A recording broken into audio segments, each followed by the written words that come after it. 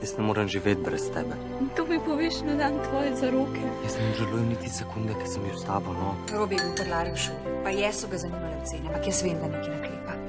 Eva, te cene so previsoke. Naša vina spadajo v sam vrh slovenskih vin. Samo da se jih noben ne more prvošiti. Prosim, znižajte cene. Ampak jaz sem jih že poslala hotelirje. Med delovnim časom je prepovedan pit. Ej, jaz ne delam več tukaj, odpoved sem dobil. Pojpajte pa v gostilno.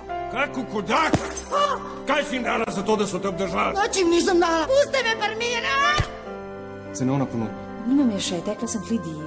Zgubljam potrpežljivost. Nujno je, oprostite. Takle cenovna ponudba, to je za krizno menedžerko verjeten malenkost.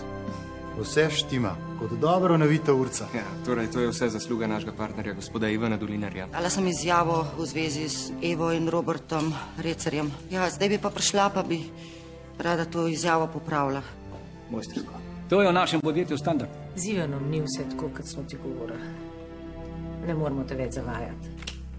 Kaj je?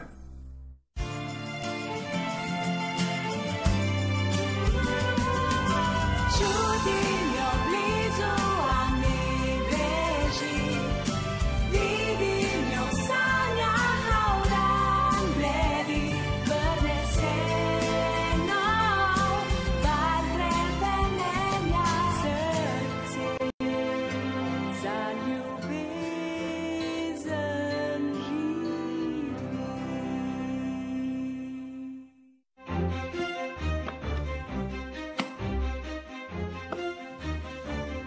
Kako sta mi mogla to... Enostavno sta me zavedla. Ne se razburjati, prosim te.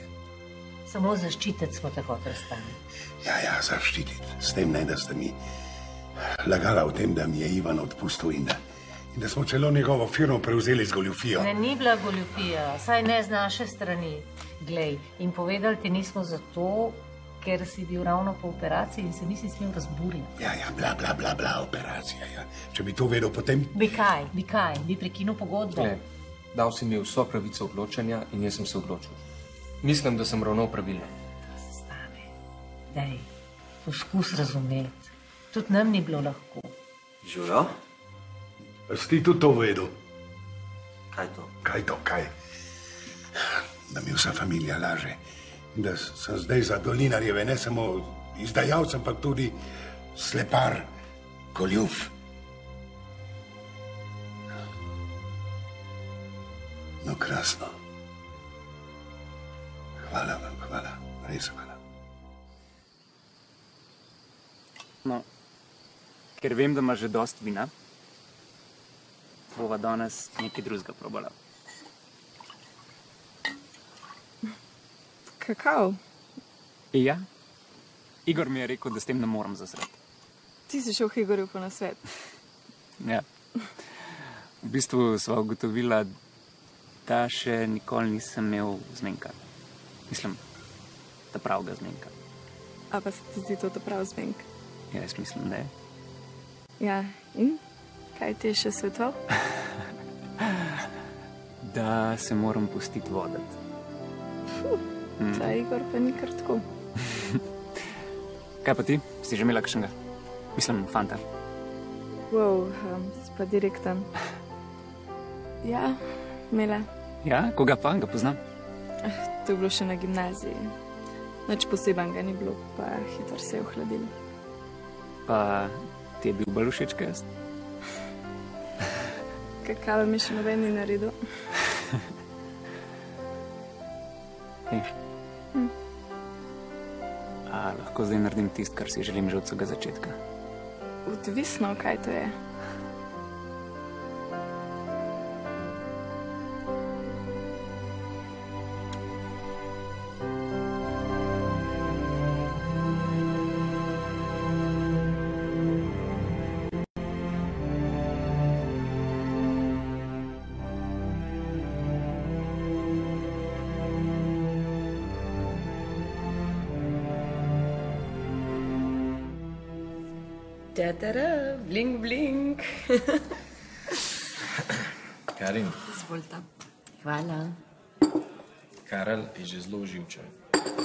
Da bi že mogla biti v Ljubljani.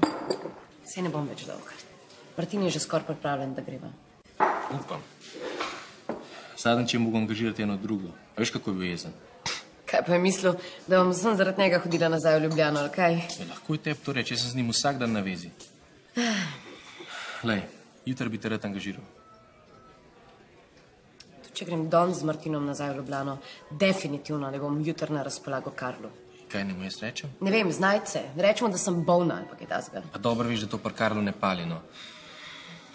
Lej, dej, prosim, spotiraj kavčke, pa pej z mano v Ljubljano, sam za jutri tok, da ga pomirim. Potem lahko takoj nazaj pripeljem. Pa kaj je s tabo narobe? A ti misliš, da bom jaz Martina tukaj res pustila z eno Nino zaradi kurčega Karla? Pa to ni kar en kurčev Karl, no. Pogodbo imamo sklenjeno z njim. In če jo bo dolgoročno kršila, veš, kakšno stran nam to lahko prinese. A imaš ti 20 tisoč evrov za skozi okno završiti? Ne bo šlo, sorry. Znaj se. Ok, prav. Ga bom probal prepričati. Po moje, da bi za te tri dni še nekako šlo, Thanks.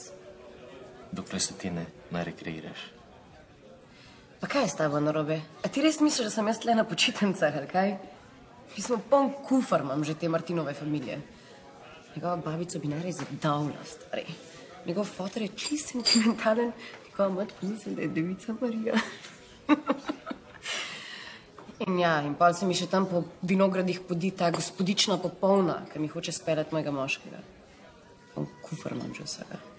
Ok, no nisem tako mislil. Lej, ne maram delati s Karlom, ampak tudi meni je v interesu, da prijem čim prej nazaj v Ljubljano. Ja, Prav bomo zrihtali. Zlaci. Na, malo cukrčka. Nekaj, dieta. Res, kokin? Deset? Buci, buci, buci. Uh. Pazi na prste.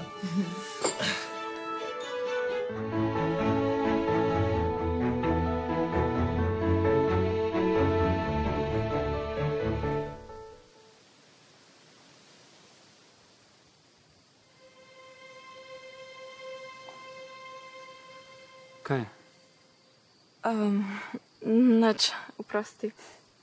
Ne, se razumem. Rabiš čas. Ej, a ti lahko nekaj iskreno povem? Um, kaj? Ej, do zdaj mi sploh še nikoli ni bilo tako pomembno, da se kakšna punca z mano dobro počuti. Smo mogli biti pa res neumne te punce pred mano. Ja, imam občutek, da ni bilo nobene pred tabo. No, zato ti pa zihar ne bi bile hvaležne. Ja. Kaj že greš? Um, ja, moram iti uh, domov. Kaj sem kaj narobe naredil? Ne, Jure, sam zelo sem utrujena. Ok. A te lahko še kdaj povabim na kakav? No, to bom vzel kot ja. Ajde, te pospremim.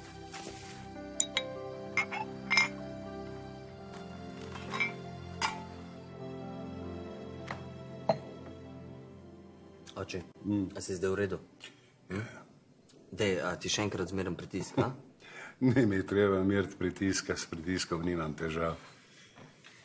Ej, fanta, počakajte. Zdaj sta zvedla, kaj sem naredil Ivanu in da je njegova žena umrla zaradi mene. Prosim te, pusti to, no. Vse sem vam hotel povedati obema hkrati, ampak vse se spomnite. Zdaj pa, ko veste to od mame, je pa še toliko bolj grozen. No, lahko bi to malo prej povedal. Veš, ne bi smel toliko časa tiščati vse. E, točno to. Vedno, vedno sem govoril, da je tole od delovne nesreče.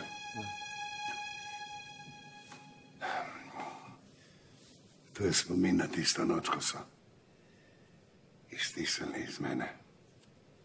Izdajo. Ampak še zmer ne vemo, kdo je pravi izdajalec. Seveda, policijski spis se kar na lepem zgubone. Ja, gotovo so ga uničili. Verjetno je bilo to nekomu zelo pomembno. Ja. In pravega krivca pač ne bomo najdeli. Jaz zdaj lahko samo še upam, da bo vinarstvo Rozman, Dolinar uspešno in da se bom vsaj tako oddolžil Ivanu. Le, naredil bom, kar se da. Tale posel s hotelirji bo šel gotov čez in podjetje bo kmalo v plusu. Na zdravje. A?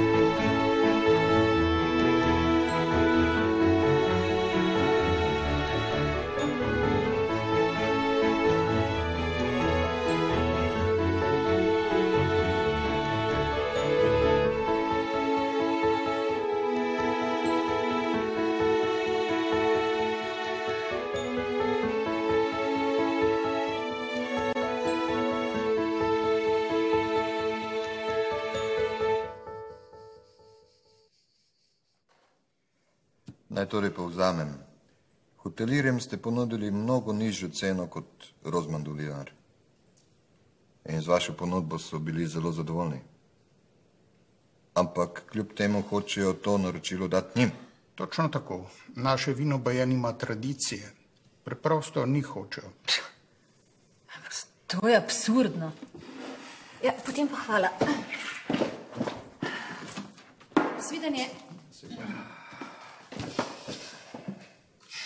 Sranje.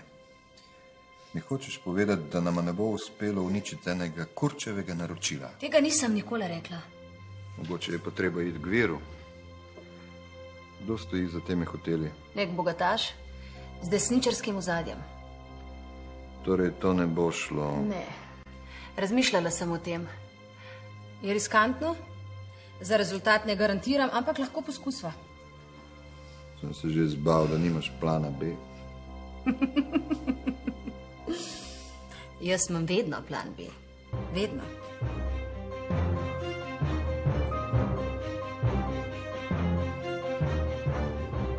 Živijo, Andreja? Ines tukaj. Veš kaj, eno mehko uslugico bi rabila od tebe.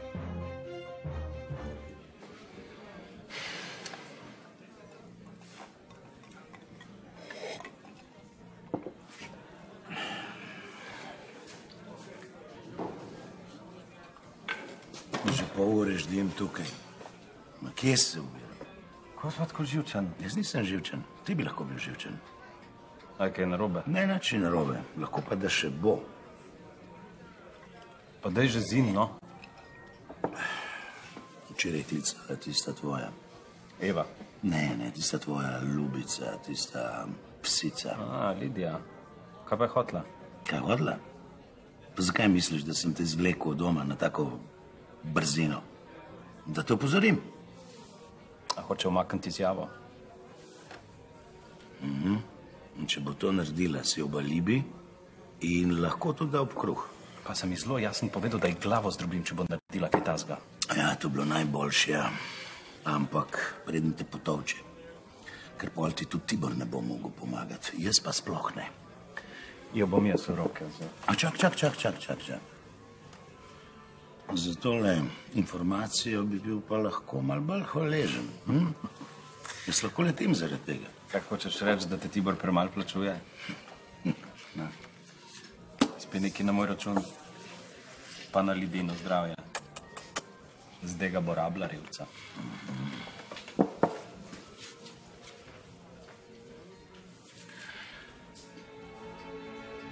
Gospodična, še enega.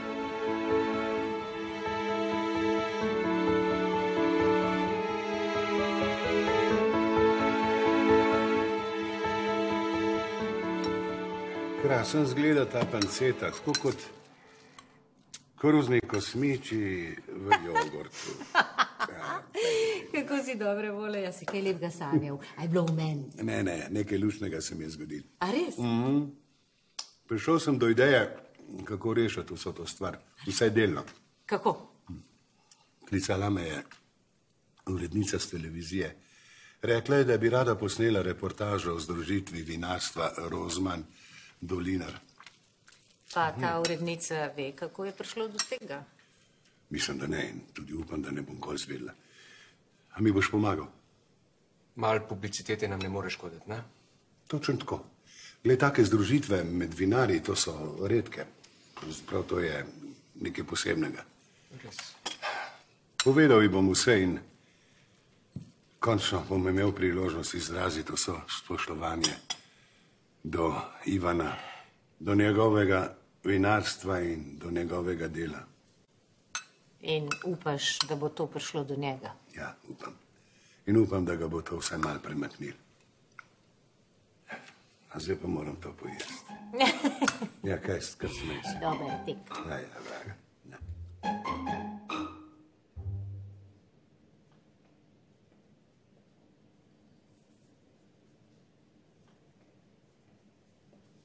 Evo me. Živijo. Ej, imam ful dobro idejo. Kaj, če bi šla midva že danes zvečer spet ven?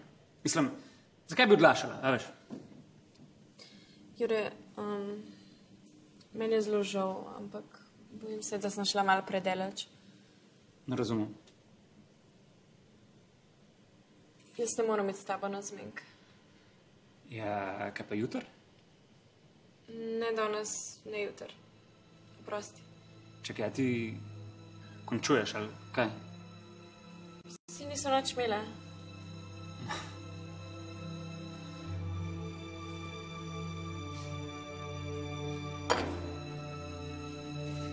No, meni se ni tako zdelo. Juro, prosti, zelo mi je žal. Ja.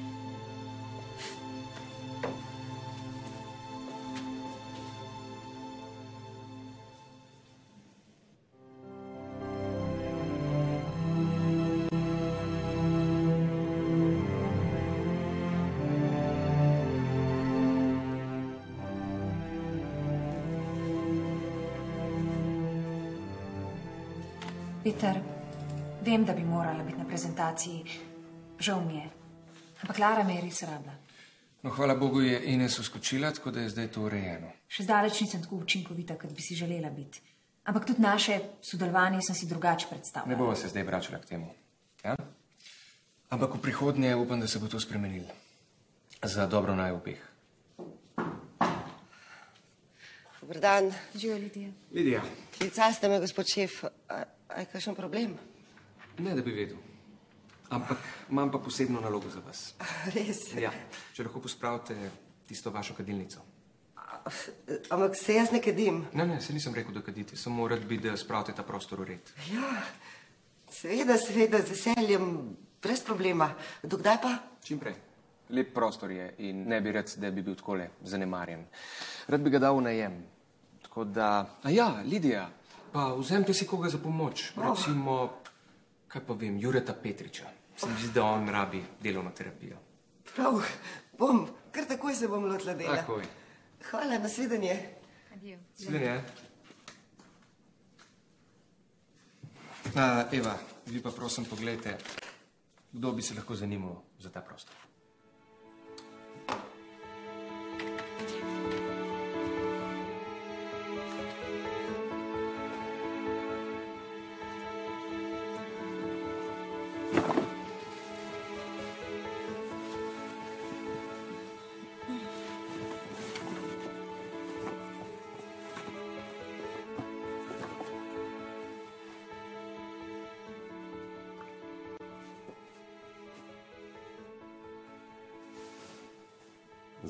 Zaspanka.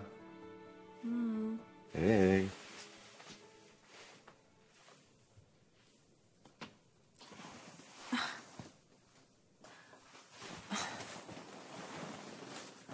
A ti je všeč? Kje si to dobil? A so ti všeč?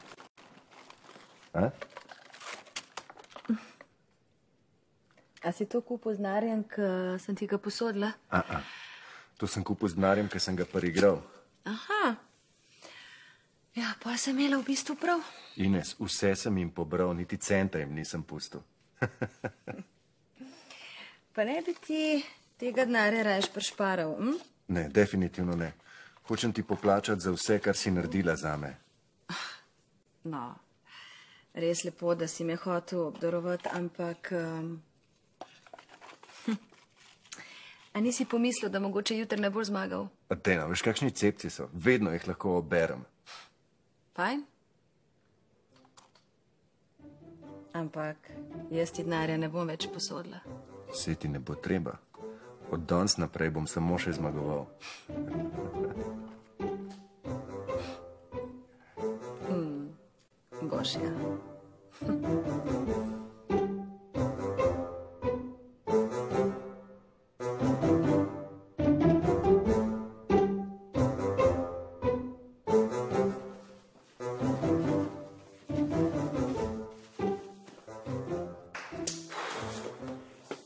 Kje bomo pa zdaj viseli?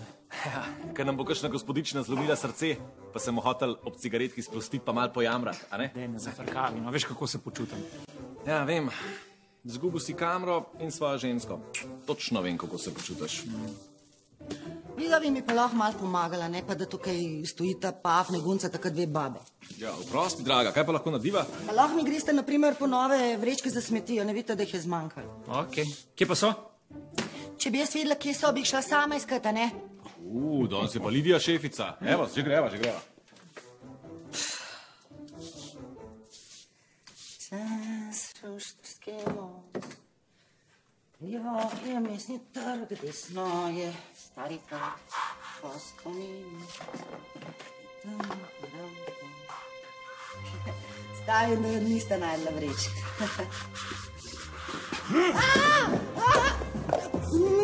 Kaj sem naredila? Zaenkrat še nič. Ampak če boš preklicala moj alibi, se bo pa tole zelo slabo končalo. Kako pa veš, kaj sem? Kaj pa jaz ne zvem, a? Brez kakršnih koli fint, jasno? In da mi nisi preklicala izjave, ker sicer se bo tudi za tvojega otroka zelo slabo končalo. Obljubiš? Ja, ja. Obljubiš? Ja. Se ni nikoli več zgodil kaj tasga, jasno? In zelo dobro si tole zapomni. Napala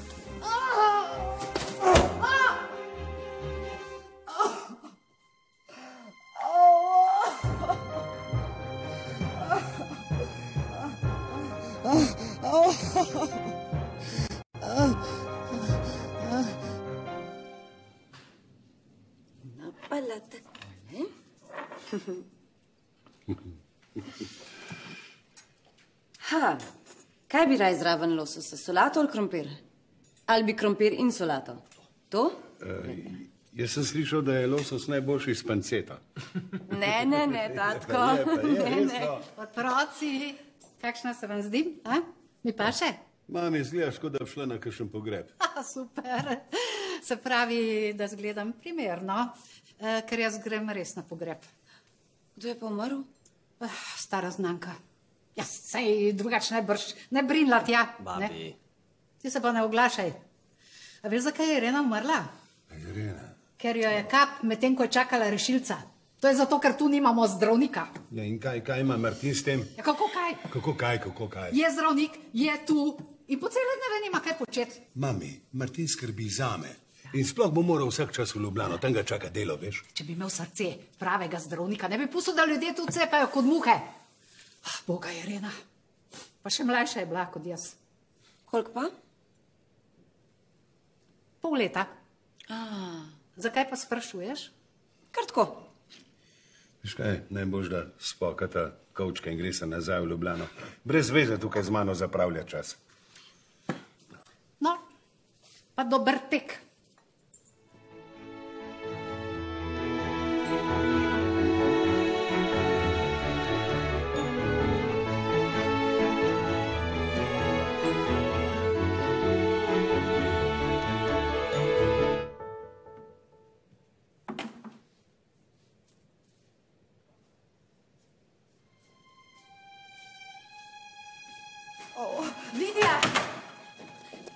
Se je zgodilo?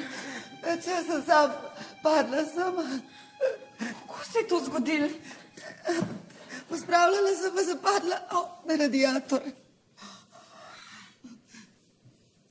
Si zihar, da si ti samo padla? Ja, ja. Ker tele modrice, Ja, je bilo nekaj spolskega, nekaj sem se spodrišala, pa sem padla na radiator.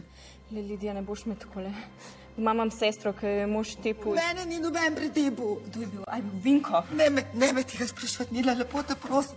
Oh, Moramo poklicati rešilca in ti mora pregledati. lepo te prosim, ne smemo v bolnici me bodo pregledali zdravniki, ugotovili bodo, da mi to en naredil in pa bo prišla policija, jaz pa ne smem na policijo, razumeš? Zakaj to je treba prijaviti? Ne, prosim te, Nina, zaradi moje hčerke, jaz nočem imeti problemov.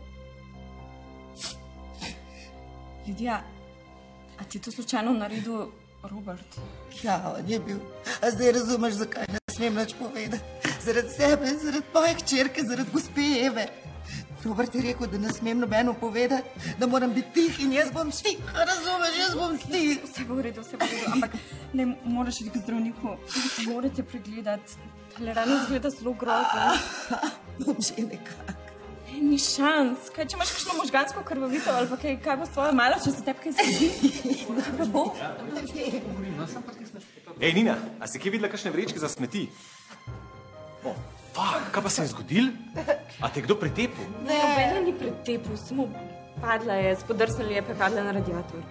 Meni zgleda, kot da bi jo nekdo mal. Ne, se sem bila tukaj, se nisem slipa, sem padla je.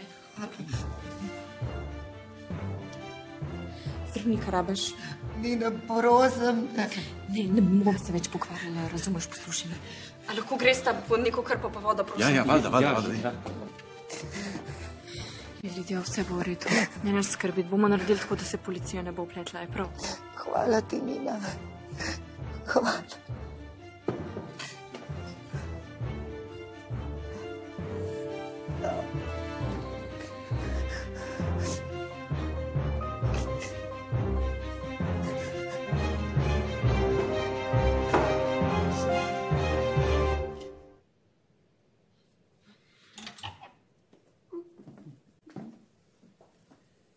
Karin, zakaj moramo mi da zdaj takoj spakirati nit? Lej, meni se zdi to edini način, da se odločiva, pa greva. Ja. Ampak jaz sem hotel ostati še malo dlje. Tvoja babica ima prav, zdravnik si in opravljati bi moral svoje delo, ne? Ja, ampak kje in kako bi pa lahko odločil sam, a ne? Martin, strinjala sva se, da greva v Ljubljano. In če mi zdaj odpoveš, da je umela za moškega, ki ne drži svoje besede. Nič ne odpovedujem, sam ne vem, zakaj moramo tako na hitro iti. Lej, čisto vse je, ali greva zdaj ali pa jutri zjutraj. Ja, ja, imaš prav. Zakaj bi odlašala? Še tvoj oči bo vesel. Grem do njega.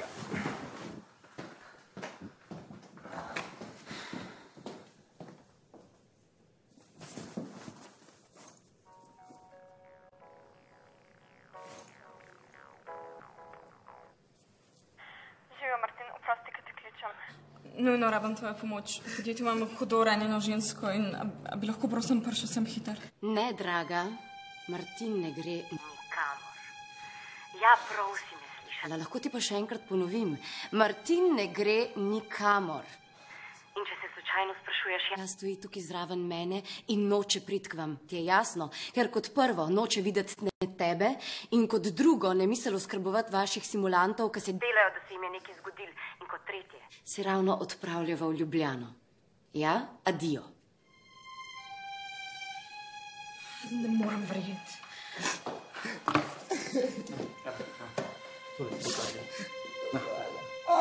Kaj, te boli? A ne, ja, Hm? sem mal. Kaj imaš zlomljeno roko? Uh, Da mi moramo poklicati rešilca. Ne. Ja, zakaj ne? Zato, ker ne. hvala, hvala ti. Nina. Odpeljte jo v avto, grem. Kaj prim se meni?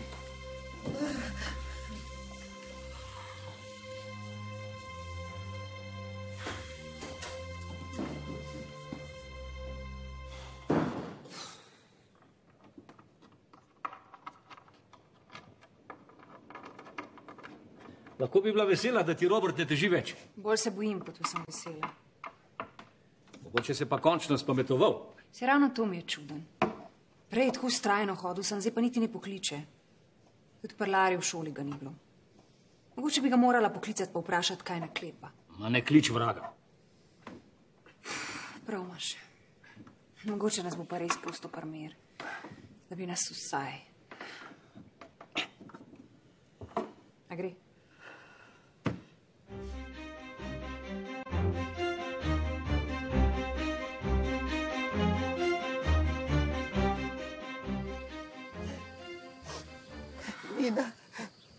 Če se mi karkoli zgodi, prosim poklic sosedo, moja pa je reči, če gre pa tam malo v vrtec, pa, pa, pa če lahko poskrbi za njo.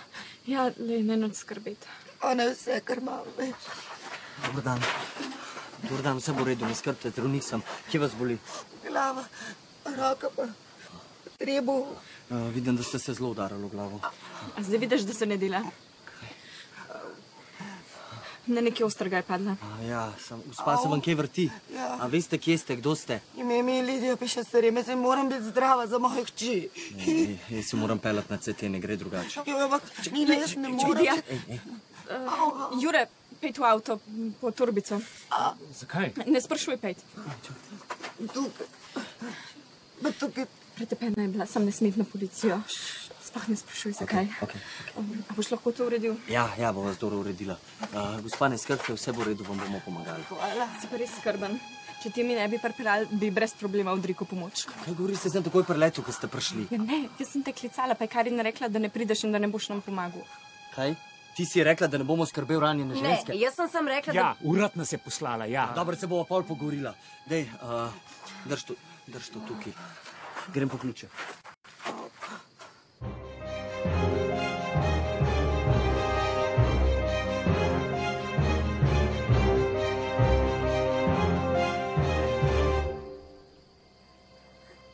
Greva s tabo. Ne, Nina, ostan greš tukaj, prosim, zaradi tamale. Ne morem verjeti, da si rekla, da ne bom pomagal. Le, včeraj so te klicali zaradi butaste praskice. Kako naj bi vedela, da bo ta resno poškodovana? Ti se nimaš kaj odločati na mest mene. Super asistentko imaš, res. Pa kaj se ti spravljaš name, a? Najte si svojega zdravnika, pa njemu tešte vaš čas. Karin! Če je pa res, kako naj vem, da te ta kura ni klicala zaradi tega, da te bi spravila sem na zmenk? No, prosim te, jaz svojega fanta ne bi nikoli vabila na zmenk. A dej. Karin, dost je. Itak imam Jureta. Gremo. Jure.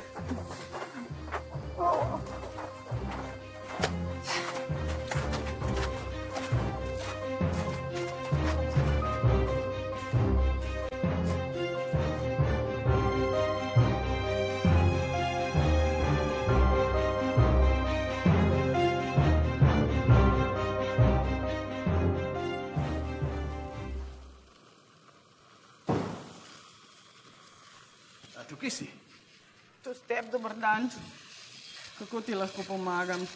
Tako da boš tele plakate pobesla po bolnici. Ker če nisi sposobna najti enega doktorja, ti jaz pomagal. Oči, jaz sem res naredila vse, kar se je dal. Moraš pa priznati, da plesniva ambulanta v Pomijanu ni loterijski zadetek. Vaši bolnici sem kupil sonogram. Zdaj, ko pa jaz rabam pomoč, me pa vsi rad pošiljate. To je zikr tvoje maslo. Ko kar hočeš.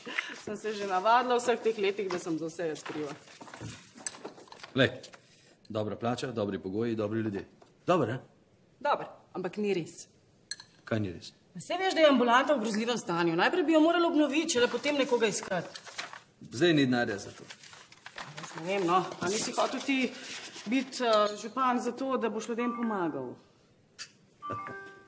No. Hej, kaj da? Ja, ja, seveda, takoj pridem. Uh, če, tu, um, moram iti. Ej, ovo, ovo, kam pa ti? Ah, Dragi moj Matjaš, uh, moja služba ima urnico popovdne, tako da tvoja kampanja bo že počakala. Izvoli. Moraš me klicati oče. Oprosti, če že kaj ne pravi oče, torej adijo ne pravi oče.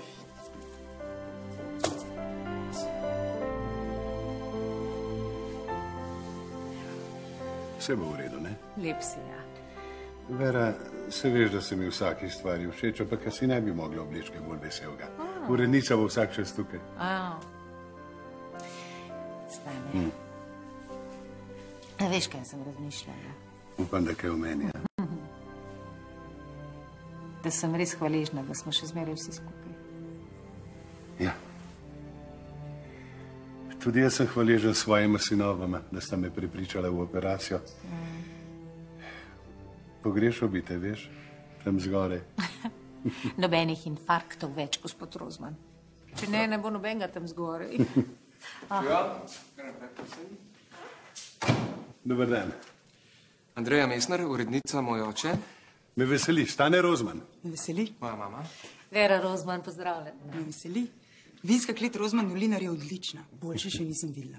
To je vse Ivanova zasluga, mi smo se samo pridružili. Odlični posnetki so nastali, komi čakam, da jih pogledam. Samo še tale intervju naredim. A, kavo, čaj, kaj smem ponuditi? Mislim, da bomo kar vino, kaj? Ah, prav. A, jaz se bom omaknila, oprostite mi. Eh, Kam se lahko posedemo? Mislim, da kar tukaj najboljš, ne? Prav, izvolite. Jaz bom pa odprl vino.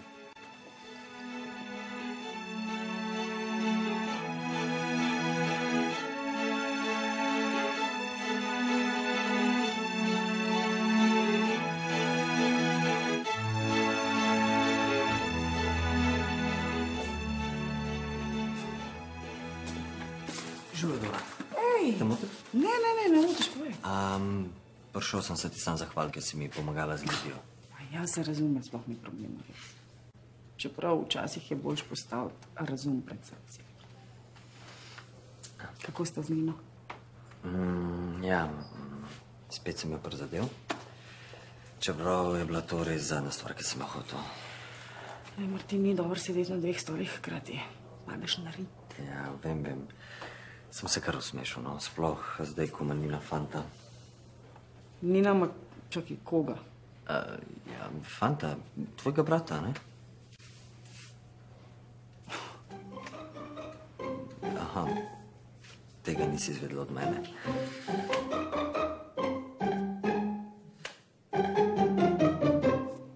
Gospod Rozman, morda za začetek, kako in kdaj je nastala vinska klet Rozman Dolinar? Ja, pred kratkim smo se združili. Ja. In zasnovali ste jo z gospodom Ivanom Dolinarjem, drži? Ja. Ivan Dolinar je izreden strokovnjak, izreden vinar, eden eh, najboljših v tem okolišu. Ustvaril je izredno vinarstvo, eh, tehnološki in arhitekturni biser in zato se mi je zdelo pomembno in eh, primerno, da mu pomagam, ko se je znašel v težavah. Predvsem zaradi spoštovanja do njegovega dela in eh, zaradi najnega starega prijateljstva. In zakaj menite, da nas je gospod Dolinar zavrnil, ko smo ga povabili na ta intervju? Ja, gledajte. No. Gospod Dolinar se verjetno ne mara pojavljati v medijih. Je bil morda nenaklonjen zato, ker je prodaja polovice podjetja potekala v neravno najbolj običajnih okoliščinah? Ne, gledajte, podjetje se je prodajalo posem Ker je bila to pravzaprav prevara, drži? Čakajte, čakajte, kakšna prevara? Ni bila prevara. Lahko morda poveste kaj o tej starejši prevari. To je povzetek spisa policije v primeru Dolinar, ki jasno dokazuje, da je Stane Rozman Ivana Dolinarja v preteklosti izdal. Kje ste to dobili? Stane Rozman je v nekdanjem režimu deloval Mami. kot tajni agent policije pod skrivnim imenom Vinar. Ugasnite to, prosim. Kje ste to dobili? Kje ste dobili te dokumente? Kaj se dogaja?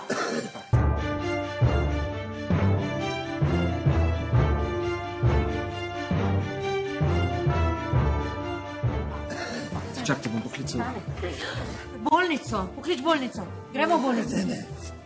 Se upravičujem, res nisem Ja. želela nič slabega. Nobenemu nisem želela nič slabega. A, a lahko to ugasnite, prosim? Dobili te dokumente. Kaj se dogaja? Najbrž imate dobro razlog za takšno čustveno Ne reakcijo. Prosim, ugasnite bolnico. Priznate, da ste Ja. bili nekdanji agent tajne policije in ste izdali gospoda Ivana Meni ni Dolinarja. nikogar izdal moj oče, nikoli Čustvena ni obrambna nikogar izdal. A reakcija lahko- Rozmanovih jasno dokazuje, da so okoliščine, v katerih je potekala prodaja Greste ven?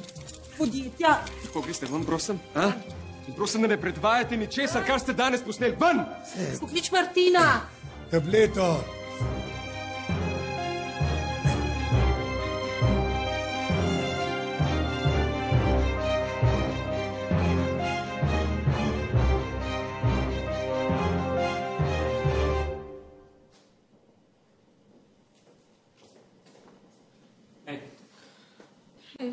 Klicali so z bolnice. Lidija ima, hvala Bogu, samo potres možganov. Roka ni zlomljena, tako da bo jutri že doma. Me veseli. Kmalo bom poklicala. Soseda je šla pa potem malo v vrtec. Lepo, da si ljudje tako pomagajo med sabo. Ne? A ne? Tako kot bi mogli biti. Nina, le, veš, da jaz ti vedno rad pomagam. Ampak to, kar sem naredila prej, moram reči, da me je prizadela. Prosti, ta ženska me je res ponižala in v tistem trenutku nisem vedela, kaj naj naredim.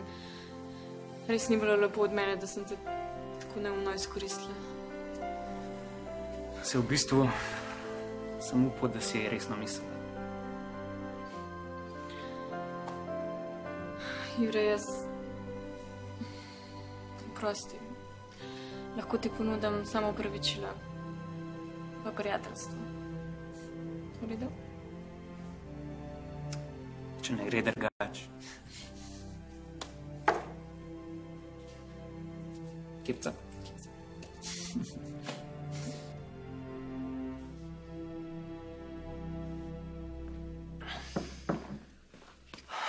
Kako je? Zaspal je. A ne bi šli raje v bolnico? Hmm. Ne, vsi znaki kažejo na šok, na srečo. In kaj bomo naredili? Ne vem, res ne vem. Ampak ga moramo zaščititi. Moram verjeti, smo mogli razbiti tisto kamero. Sam to, kar so posneli, ne. To bo še problem, veš? Kaj misliš, da bo uporabila tudi, če sem ji prepovedal? Ja, mislim, da bojo. To bi fotra uničili.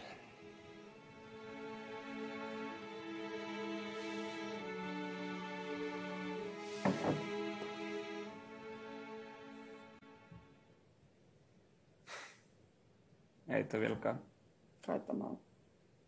Ne, možno, da ti srce tako poč.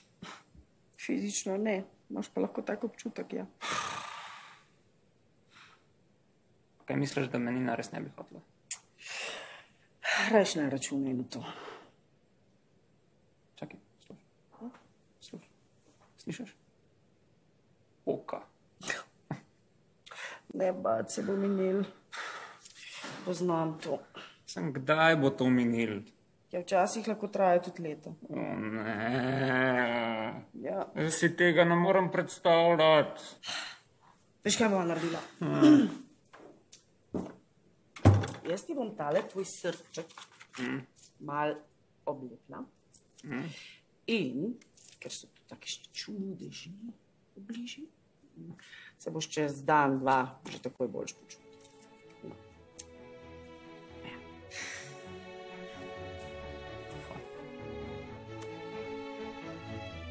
Kaj misliš, da res nimam nobene šanse?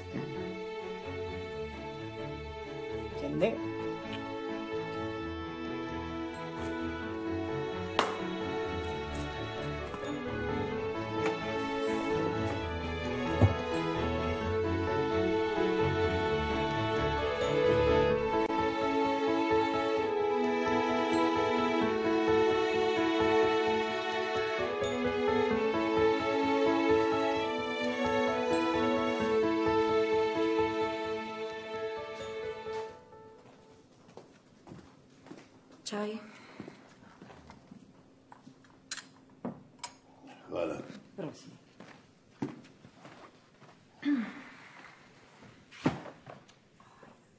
Kje so ti dokumenti? A ne bi ti moral počivati. Prav jih bom pa sam poiskal. Dober, skril sem jih zato, da se ne boš razburjal, prav? Ja, zakaj me pa pol razburjaš? Kje so no?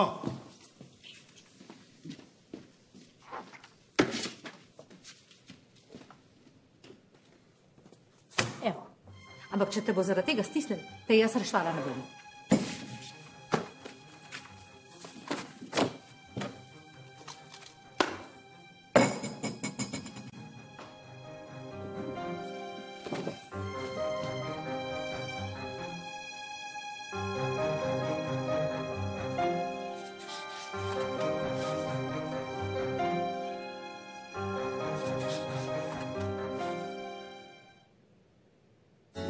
Sem vse to zvedel. Ali je kdo slišal, ker o tem nisi govoril niti meni. Ti stvari je vedel samo vaj noče.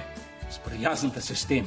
da je vajen oče izdajalec. Ni nobenega razloga, da ne bi predvajala reportaže. Ostati moram tukaj in ugotoviti, kdo je izdal Ivana Dolinarja. In pomjan rabi zdravnika. Pa kaj je s tabo narobe? Ti si cenjen kirurg in spadaš v Ljubljano, ne pa me te prešvicane kmete z buškami pod drgninami. Kako si se pa mislil izogniti njeni, glede na to, da si se odločil, da boš ostal tukaj? Ti boš imel ambulanto tukaj. Ti mi preprečuješ stike z otrokom, zato sem bil primoran naj to radno pomoč. Briga me za zakone, ne vidite, v kakšnem stanju je otrok in to samo zaradi njega. Stane